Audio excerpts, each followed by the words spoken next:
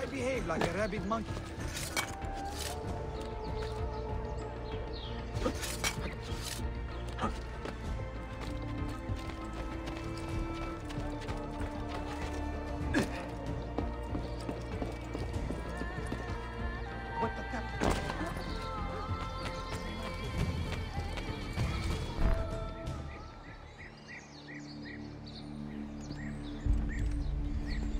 Tarik was no traitor, Suleiman.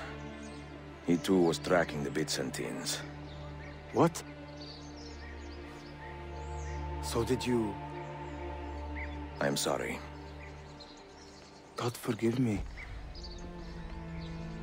You Should not have been so quick to judge. He was loyal to your grandfather to the end. And through his efforts, we have the means to save your city.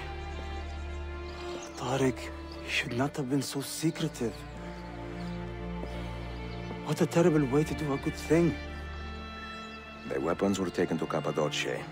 Can you get me there? Yes, of course. I will arrange a ship to take you. Suleiman! Suleiman! I have been set up and made to look a traitor. Do you remember Tarik, the Janissary? The man you quarreled with? He has been murdered. It is no secret that he and I were at odds. Now the Janissaries will accuse me of this crime. This is terrible news, Uncle. When word gets back to my father, he will banish me from the city. Ah, forgive me, nephew. I was not aware that you had a guest. This is Marcello, one of my European advisors in Kaffa. Buonasera. Marcello, my nephew and I have a private matter to discuss. As I said, there will be a ship waiting for you when you wish to leave. Grazie, mio principe.